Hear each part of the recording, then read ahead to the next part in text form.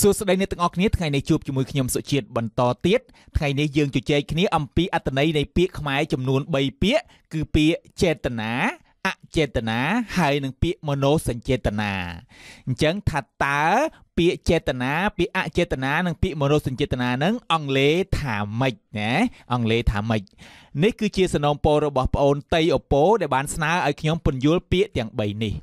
អញ្ចឹងនៅក្នុងវីដេអូមេរៀននេះខ្ញុំនឹងបង្ហាញទី1អត្ថន័យជាភាសាអង់គ្លេសនៃពាក្យទាំង3នេះហើយទី2គឺខ្ញុំបង្ហាញឧទាហរណ៍សំខាន់សំខាន់ដែលគេប្រើប្រាស់ជាញឹកញាប់តាក់ទងនឹងពាក្យទាំង3នេះអូខេតោះយើងចាប់ផ្ដើមចូលមើលតែម្ដងអញ្ចឹងពាក្យចេតនាចេតនាគឺជានាមណាបកប្រែថាបំណងណាចេតនាបកប្រែថាបំណង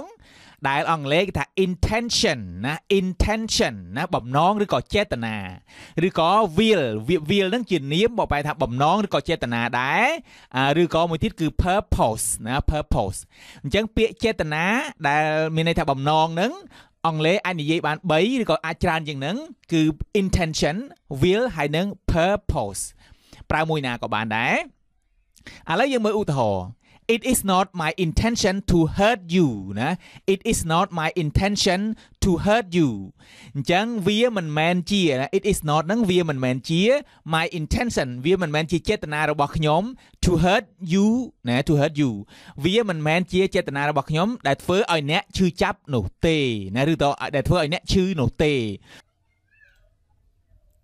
it is not my intention វាមិនមែនជាចេតនារបស់ខ្ញុំទេឬក៏វាមិនមែនជាបំណងរបស់ខ្ញុំទេណា it is not my intention to look at you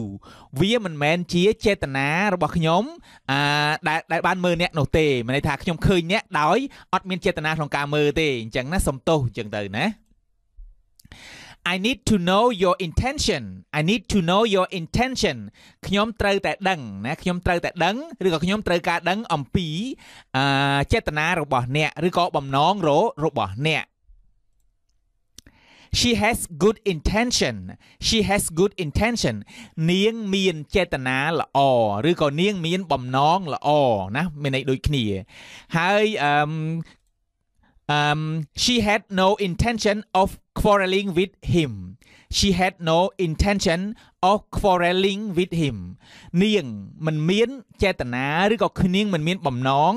ឆ្លោះណា quarrel ហ្នឹងឆ្លោះ quarreling with him បើឆ្លោះជាមួយគាត់ទេណានាងគ្មានបំណងក្នុងការឆ្លោះជាមួយគាត់ទេឬក៏នាងគ្មានចេតនាក្នុងការឆ្លោះជាមួយគាត់ទេ អូខេអញ្ចឹងពាក្យ intention ហ្នឹងយើងអាចជំនួសដោយពាក្យ purpose ណាក៏បាន will ក៏បានណា intention ក៏បានឥឡូវឧទាហរណ៍ it is not my purpose to hurt you វាមិនមែនជាបំណងរបស់ខ្ញុំឬក៏វាមិនមែនជាចេតនារបស់ខ្ញុំក្នុងការធ្វើឲ្យអ្នកឈឺចាប់នោះនោះទេណាយើងប្រើជំនួសគ្នាបានទៅវិញទៅមក okay okay ដល់ពេលដោយចេតនាដោយចេតនាគឺជាគុណនាមណាដោយចេតនាជាគុណនាមដែលយើងបប បើប្រែថាមានន័យថាមានចេតនាឬក៏មានបំណងឬក៏ដោយបំណងណាពាក្យដោយចេតនាហ្នឹងជាគុណកិរិយា ដែលមានន័យថាមានចេតនាឬក៏មានបំណងឬក៏ដោយបំណងដែលអង់គ្លេសយើងអាចនិយាយបានថា intentionally ណា intentionally ហើយនឹង on purpose ឬក៏ in purpose ណាប្រើ on ក៏បានប្រើ in ក៏បានប៉ុន្តែគេប្រើ on ច្រើនជាងណាពេលខ្លះខ្ញុំឃើញគេប្រើ in ដែរ មួយទៀត purposefully ណា purposefully អញ្ចឹងពាក្យថាដោយចេតនាជាគុណនាមជាគុណកិរិយាហ្នឹងគឺប្រើបាន3ហ្នឹងប៉ុន្តែអាចប្រើផ្សេងទៀតខ្ញុំមិនដឹងច្បាស់ដែរប៉ុន្តែអ្វីដែលខ្ញុំដឹងមានតែ3នេះទេគឺ intentionally ឬក៏ on purpose ឬក៏ purposefully ណា purposefully អញ្ចឹងទៅណាប៉ុន្តែ full នេះគេអានទៅដាច់បាត់ហើយអូខេឥឡូវយើងមើលឧទាហរណ៍ I do it intentionally ណា I do it intentionally អញ្ចឹងមានន័យថាខ្ញុំធ្វើវាដោយចេតនាណាអอกមកធ្វើអំពើអាក្រក់ឬក៏ធ្វើធ្វើឲ្យអ្នកណាមួយគ្រោះថ្នាក់អីចឹងណា I do it intentionally ខ្ញុំធ្វើវាដោយចេតនាឬក៏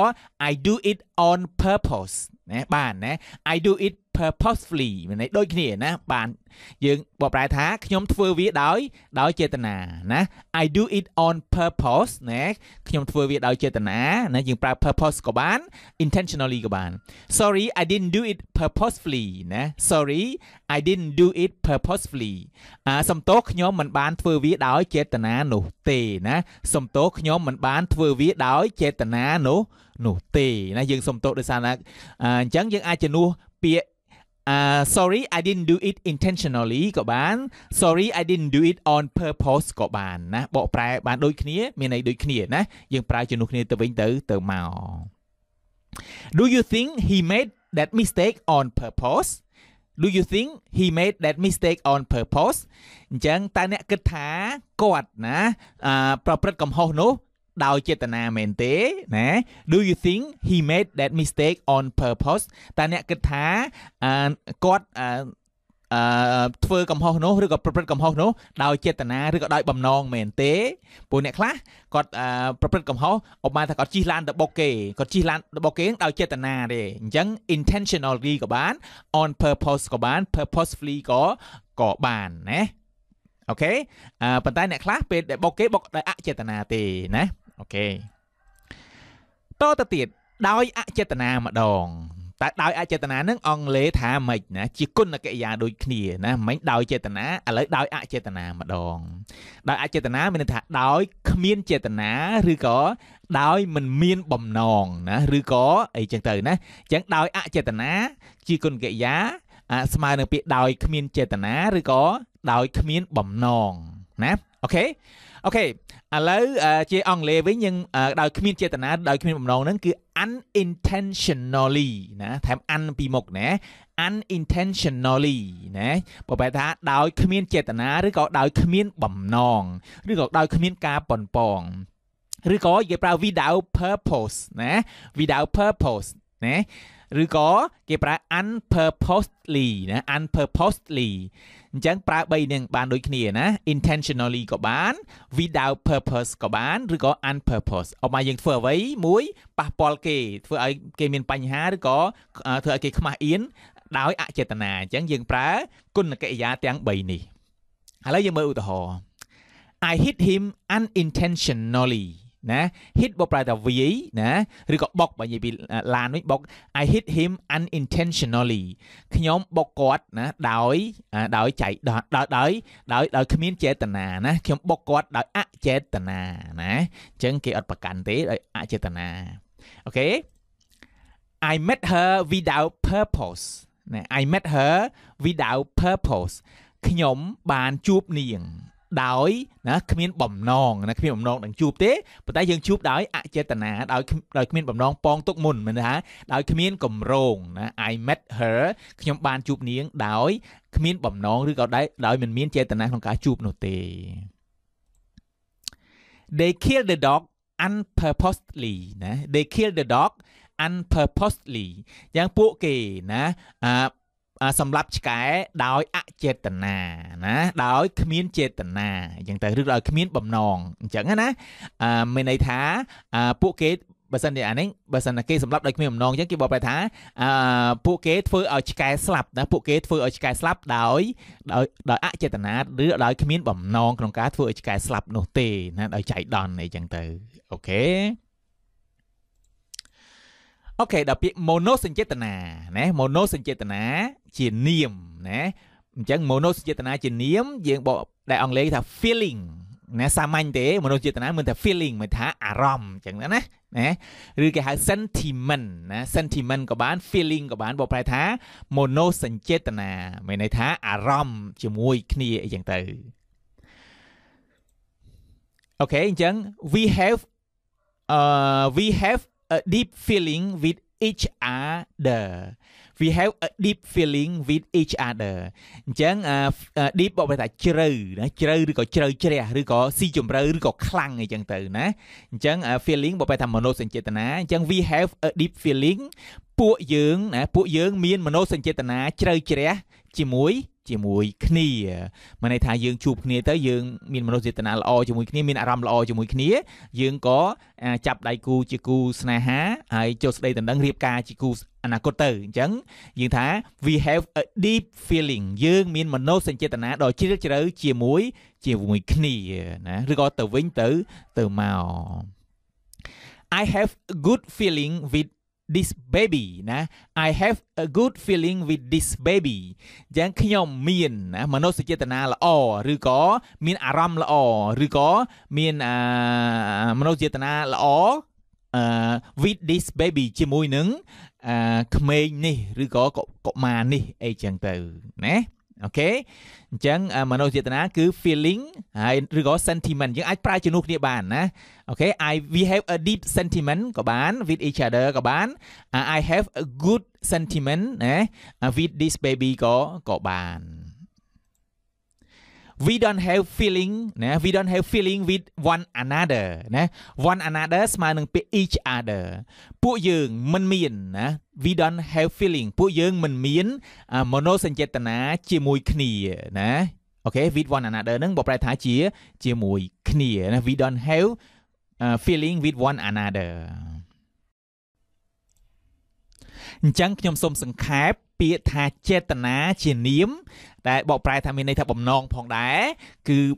អង់គ្លេសគេថា intention ណាឬក៏ will ឬក៏ purpose ណា purpose ក៏បាន will ក៏បាន intention ក៏បានបកប្រែថាចេតនាឬក៏បំបំណងចុះអចេតនាវិញណាដោយអចេតដោយចេតនាបើដោយចេតនាជាគុណកិរិយាណាដោយចេតនាជាគុណកិរិយាឬក៏ដែលដែលមានន័យថាមានចេតនាឬក៏មានបំណងនឹងឬក៏ដោយបំណងនឹងអង់គ្លេសគេថា intentionally ណាឬក៏ on purpose ឬក៏ in purpose ឬក៏ purposefully ណា purposefully ណាអញ្ចឹងដោយចេតនាធ្វើអ្វីដោយចេតនាដោយប៉ុនប៉ងដោយមានបំណងអញ្ចឹងគឺគេប្រើ intentionally ក៏បាន on purpose ក៏បាន purposefully ក៏ក៏បានចុះដោយអចេតនាវិញដោយអចេតនាគឺជាគុណគុណកិរិយាដូចគ្នា ដែលបបពីថាដោយគ្មានចេតនាក៏បានដោយអចេតនាក៏បានដោយមិនមានបំណងក៏បានអញ្ចឹងគេប្រើពាក្យ unintentionally យើងថែម un ទៅលើ intentionally ហ្នឹងណាទៅជា unintentionally ដោយអចេតនាឬក៏ដោយគ្មានចេតនាឬដោយគ្មានបំណងឬក៏ without purpose ណាដោយគ្មានបំណងណាដោយគ្មានបំណងឬក៏ដោយគ្មានចេតនា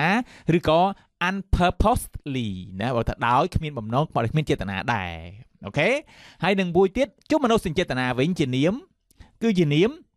ដែលអង់គ្លេសគេថា feeling ឬក៏ sentiment ណា feeling ក៏បាន sentiment ក៏បានណា mono សញ្ចេតនាអូខេអញ្ចឹងអរគុណអ្នកទាំងអស់គ្នាចំពោះការតាមដានវីដេអូមេរៀននេះរហូតដល់ចប់ហើយបើសិនអ្នកទាំងអស់គ្នាមានសំណួរមានចម្ងល់អីសូមកុំភ្លេចសួរនៅក្នុង comment ហើយអ្នកណាដែលមិនទាន់បានចុច like សូមកុំភ្លេចជួយចុច like ផងហើយអ្នកណាដែលមិនទាន់បានចុច subscribe សូមកុំភ្លេចជួយចាប់ subscribe ដើម្បីទទួលបានមេរៀនថ្មីៗដែលផុសដែលខ្ញុំនឹងផុសជាបន្តបន្ទាប់ហើយអរគុណបងប្អូនតៃអពូដែលបានស្នើសុំឲ្យខ្ញុំពន្យល់ពាក្យនេះអរគុណជម្រាបលាបាយបាយសូមកុំភ្លេចជួយចុច subscribe និងសញ្ញាកណ្ដឹងដើម្បីទទួលបានមេរៀនថ្មីៗជាច្រើនទៀតដែលខ្ញុំនឹងផុសជាបន្តបន្ទាប់